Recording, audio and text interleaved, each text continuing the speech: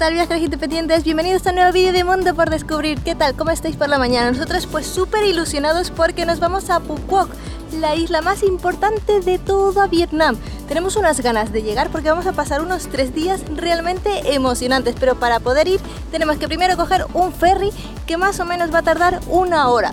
Así que ya estamos preparados con las maletas y que empiece el viaje y la aventura.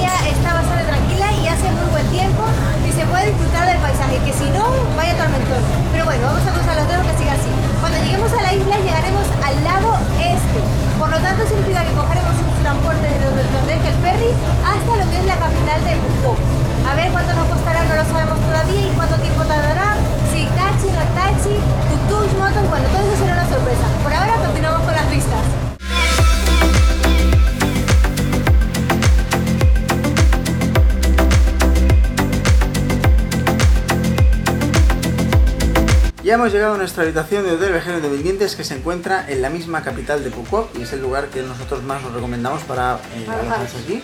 Vamos a pasar unos días. Entonces, para venir desde el ferry hasta la zona de la capital. Hemos visto un montón de autobuses, pero nos parece que la gente los contrata antes y no sabemos cómo los contrata. Sí, no, sé- no tenemos idea, No. ¿vale? Pero hay la posibilidad de coger autobús. Eso. Y entonces hemos cogido un taxi que nos ha costado eh, 200.000 dólares, 8 euros los dos, o sea que Está me parece un buen precio porque hay que decir que estábamos a 15 kilómetros, ¿eh? O sea que probablemente sea la mejor opción. Sí, pensábamos que nos iba a salir mucho más caro, pero al final salió bien. Y dicho esto, viajeros, os enseñamos nuestro fabuloso hotel.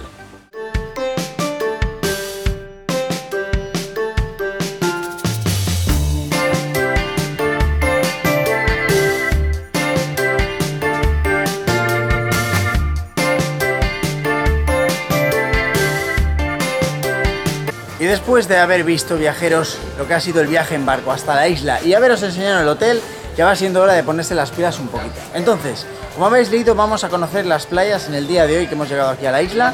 Vamos a conocer dos de ellas.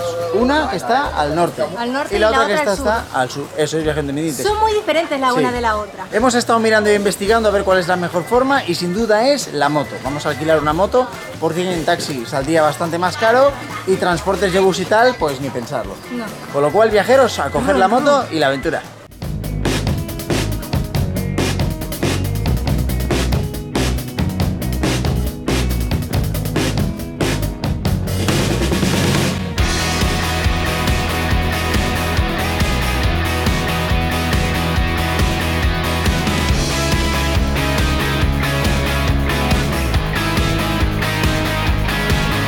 Viajeros dependientes, hemos llegado ya a la primera de las playas que queremos conocer.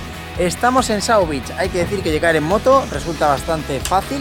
Es la mejor forma de llegar, sin duda. No alquiléis bici porque hay subidas y bajadas No, no, por la no, isla. Y además os cansaréis demasiado. Podéis llegar a los lugares, pero volver al, al hotel no. Y en unos 40 minutos os plantáis aquí. El parking es gratis por ahora y nos parece que va a ser gratis todo el rato.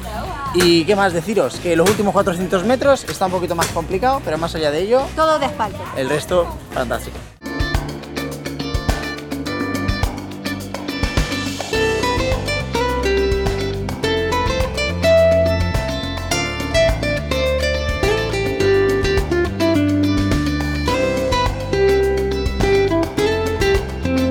Bueno, pues ya os habéis hecho una idea básica de lo que es Sao Beach. Ahora vamos a caminar, la habéis visto de forma muy rápida, pero comentaros algo que nos ha impactado. Y es que en los artículos que hemos leído y la información se vende como la última playa virgen, de las más auténticas que hay. Probablemente sea la más virgen y la más auténtica, si lo pone. Pero eso qué quiere decir? Que las otras playas mm, pues no van a ser tan vírgenes, al menos No, son muy turísticas. Hay mucha más gente que en el resto de la isla. muchos servicios, o sea, está todo lo que es la costa llena de hamacas y de restaurantes, o sea que a los que les gusten tener servicios en la playa los tendréis. Y si queréis tener un rinconcito así más privado, tenéis que caminar hasta el O a final. derecha o a Sí, izquierda, exacto. que ahí es lo que vamos a ver ahora. Exacto.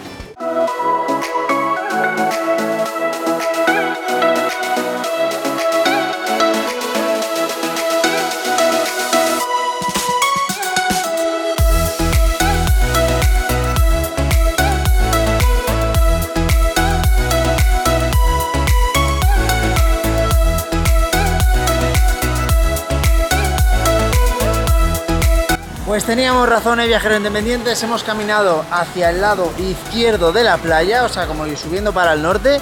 Y mirar, las palmeritas, muchísima menos gente, Sí, más no nadie. tranquilidad. O sea que. Vale la pena caminar. Hay una curiosidad muy buena de esta isla que hasta el momento nos la hemos contado. ¿Qué, qué es? Y es que esta es la playa, bueno, la isla de los novios de Vietnam. Eso es. Aquí vienen a pasar sus lunas de miel.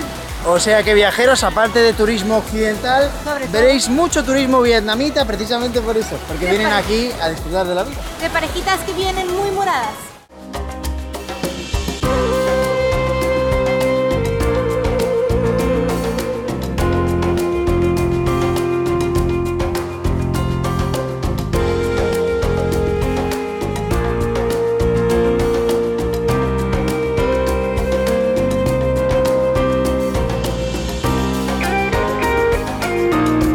Al fin llegamos a la esquina, llegamos a nuestro paraíso personal, lo que quiere decir que llega el momento. Del baño y Eso. tenemos unas ganas para hidratar nuestra piel. Eso sí, recordad, agua, protector solar y si queréis, gorrito. Y si vais con niños pequeños, tener cuidado porque aquí da el sol bien, bien fuerte.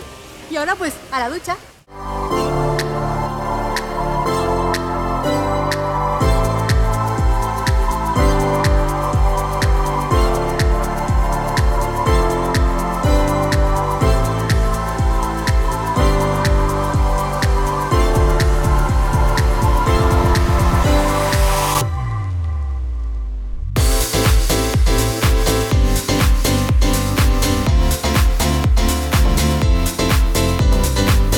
El mundo por descubrir viajeros, cuando le ponemos empeño a algo, pues siempre acaba saliendo bien. Hemos llegado a Rach Ben. Y diréis, ¿este qué lugar es? Probablemente pocos de vosotros o casi nadie lo conozca.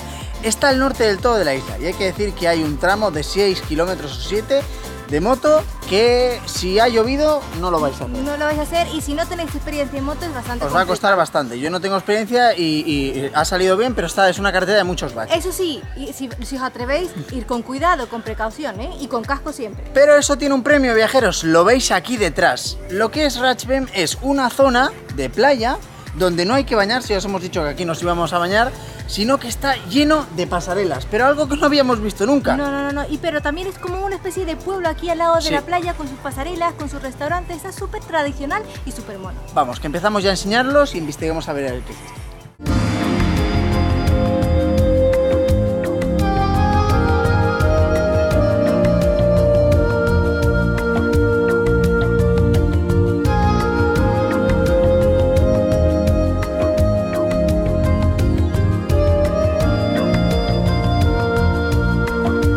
Estamos volviendo ya, pero volviendo de la primera pasarela. Esto que habéis visto es de una pasarela. Es que son varias pasarelas. Sí, yo y- pensaba que había cuatro, pero no. No, hay más. Hay más. ¿Y dónde acaban? Pues acaban como una especie de, de restaurantes o casitas como centrales de los barcos. Eso es. Y es ahí donde acaban. Pero aquí todavía nos da la sensación que no hay ni bungalows turísticos ni nada. Es como una comunidad de pescadores muy bonita. Así que vamos a probar con, con otra pasarela. Una pasarela que tiene algo interesante, ahora lo vais a ver.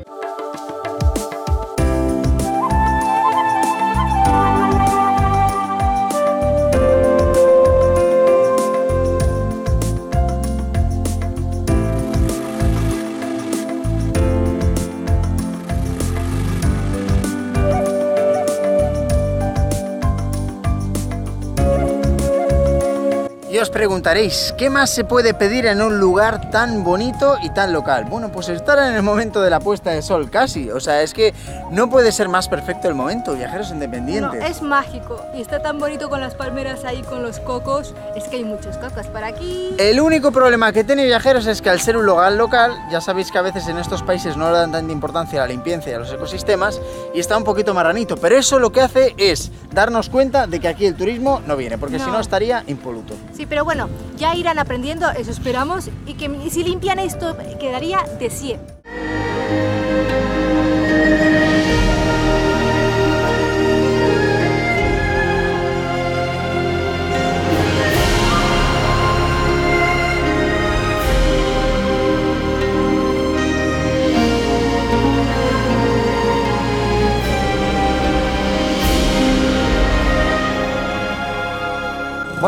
Se nos ha acabado el idilio del día de hoy, del día de playas de Foucault, que ha sido el primer día que hemos llegado a la isla y ha sido espectacular. Bueno, pues ahora ya lo que nos toca es volver a la capital. Eso es. Tenemos que ir rapidito antes de que se nos haga de noche porque no queremos conducir de Y noche. además queremos enseñaros el Night Market de día, con lo cual si se nos hace de noche, mal. Mal. Así que viajeros, cogeros bien a la moto que nos vamos.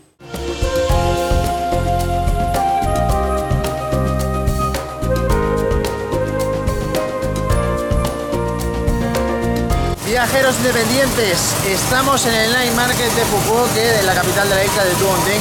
Pero hay que decir una cosa, viene una tormenta espectacular, o sea, hay rayos a derecha y a izquierda, menos arriba que hay cielo clarito, pero va a venir una Va a venir tormenta. una tormenta, es decir, que vamos a grabar todo lo que podamos antes de que caiga. Entonces, como veis aquí de fondo, el Night Market está con generadores, con lo cual está parcialmente iluminado solo. Vamos a ver qué podemos grabar, viajeros, y os lo enseñamos.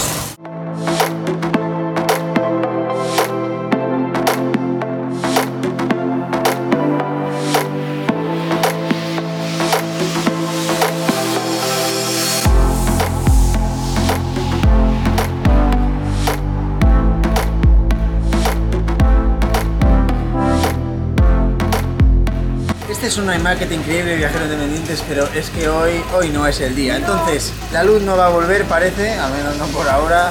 La tormenta no va a mainar, No, pero hay algo que no desaparece, que es el fuego. El fuego, y por suerte, entonces ya veis. Por ahora, tres pinchitos de carne, cada uno eh, 15.000.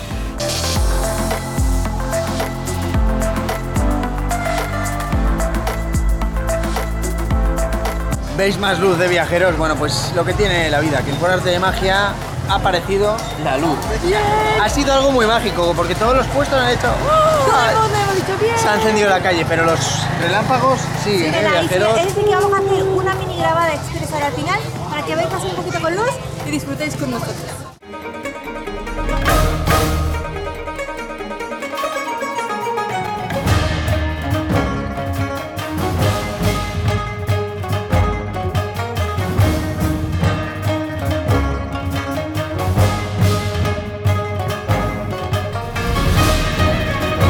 Si la luz vuelve, una de las cosas que empieza otra vez a funcionar son las neveras y los fuegos eléctricos. Con lo cual nos hemos pedido un heladito viajero Heladito de independiente. eso súper guay, está muy rico. El Raúl lo va a probar en directo. Sí. Sí, A ver, a ver, a ver. Está muy bueno viajeros independientes y ahora os enseñamos cómo se hace porque es muy muy curioso, ¿eh?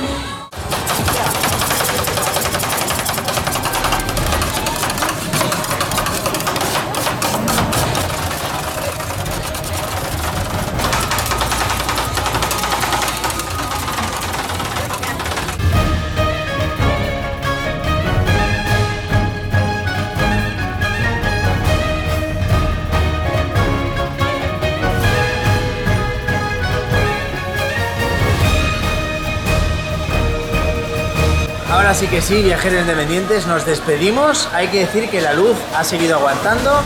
La tormenta está ahí ahí. Está ahí, pero todavía no viene, que es Eso lo es. bueno. Así que esperamos que os haya gustado mucho este primer día. Ya veis que hay que hacer, hay para hacer un montón de cosas. Las playas han sido espectaculares. Si os queréis bañar, Sao Beach. Si queréis ver algo mágico mágico, la zona del norte. Seguro. Es espectacular, Todo, todo. de Y además, verdad. En la playa de las pasarelas hay estrellas de mar si vais con la marea baja, recordad. Y por la noche, venir aquí al Night Market. Hay otros restaurantes en otras zonas de la ciudad, pero sin duda estos son Sí. los más guays. Además es así, caminaréis, iréis de tiendas, perlas, un montón de cosas. te parece esto? Así que viajeros independientes, os damos las buenas noches y que mañana será otro día que le dedicaremos a lo que es la capital, esta ciudad de Duontong. Que está muy chula, ya lo veréis. Adiós viajeros independientes, hasta Buenas mañana. noches. Hoy va a ser un día más relajadito, básicamente porque le vamos a dedicar una mañana o una tarde completa, según como se mire, a la capital, Duontong.